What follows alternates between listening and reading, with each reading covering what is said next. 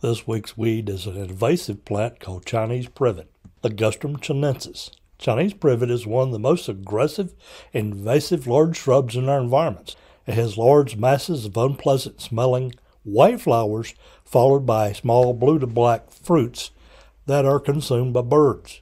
Leaves are small, quarter to half dollar size, oval to round, glossy green, and semi evergreen.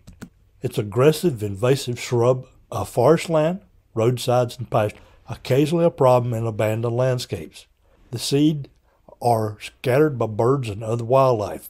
Cut and stump treat promptly with various post-emergent herbicides, such as 50% clopropyrrole or glyphosate will work very well.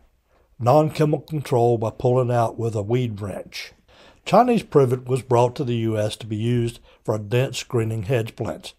While the fruits are consumed by birds, this is not a desirable food source for them.